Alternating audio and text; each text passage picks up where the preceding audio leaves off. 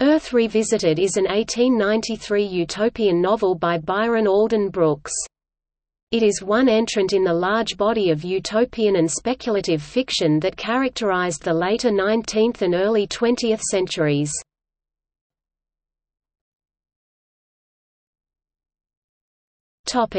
Genre Brooks sends his protagonist from the late 19th century into the future to experience a vastly improved world. His novel is one of a stream of such books that appeared in the late 19th century.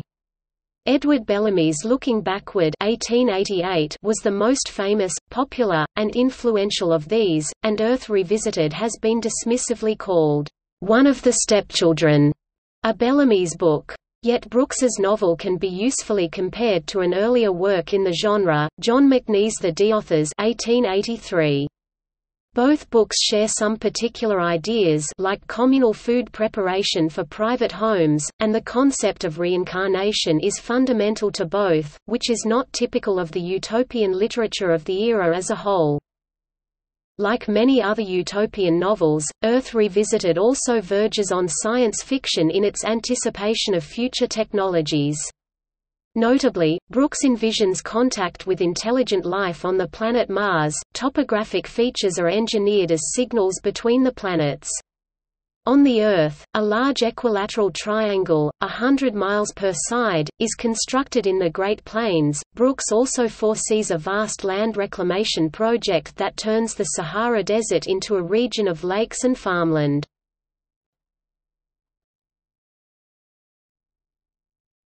Topic: Society and technology. Brooks anticipates a number of developments that would come about in the decades after his book, including a juvenile justice system that is empowered to remove children from homes with unsuitable parents. Technologically, he equips his future with electric cars and dirigible-like aircraft called anemons. He envisions electricity generated with solar power. He predicts color photography and advances in electronic communications. In what may be the most surprising feature in the book, dogs are taught to understand human speech and respond with a simple code of staccato barks—a foreshadowing of modern communication with apes and other animals using methods like sign language.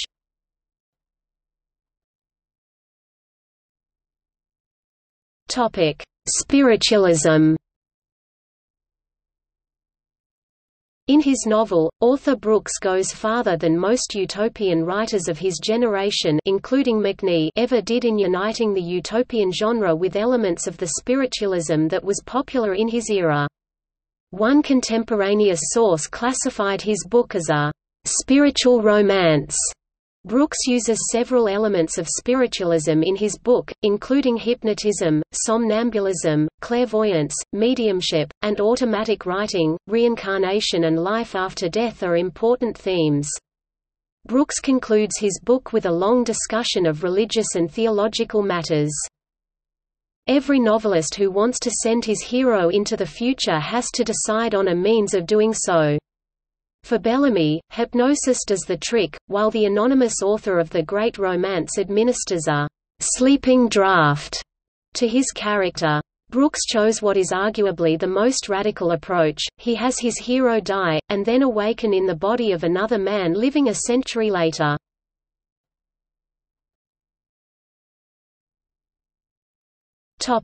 Synopsis The novel delivers the story of Herbert Atherton in a first-person narrative.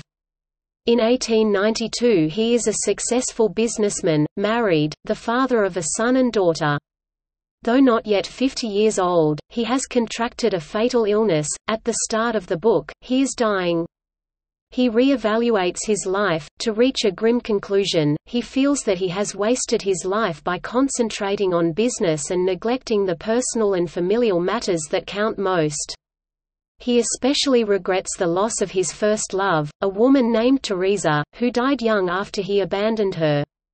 On his deathbed, he feels himself, "...alone in the vast vacuity of space, a naked, shivering soul." A deep darkness of horror engulfed me. I could endure no more. When he regains consciousness, he finds himself in the body of a 27-year-old man named Harold Amesbury. He discovers that it is now a hundred years later, Amesbury has been ill and delirious for three months. His fiancée, Helen Newcomb, is overjoyed at his recovery—but stunned when he reveals his identity as Atherton. Helen determines to nurse Herbert, Harold back to mental health. She leads him out into the world, where he confronts the vast changes of the intervening century, and beholds the bewildering magnificence and beauty of Brooklyn in 1992.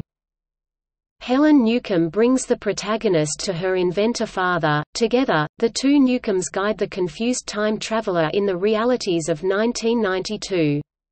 Society has enjoyed vast improvement in the intervening century. The city of Columbia, formerly New York, is cleaner, better organized, more peaceful, healthier, and generally better than before.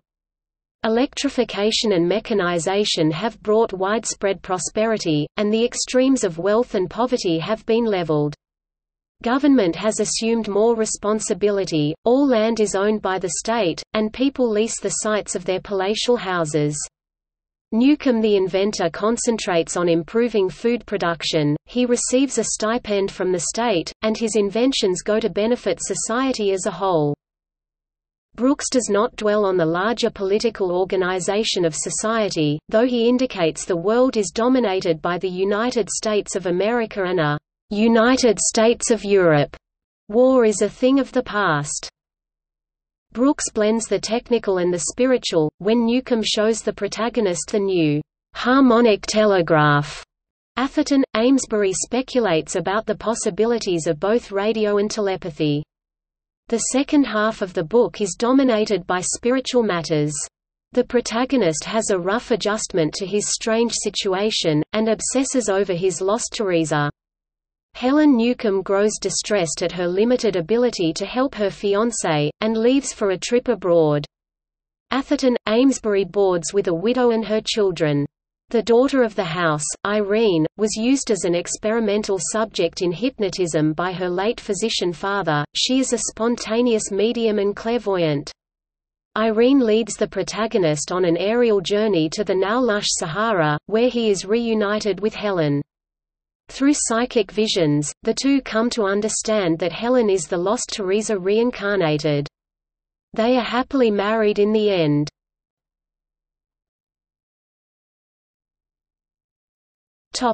The author Byron Alden Brooks (1845–1911) was a native New Yorker, born in the small town of Teresa, a name that he employs for important characters in Earth Revisited. He was educated at Wesleyan University, graduating in 1871.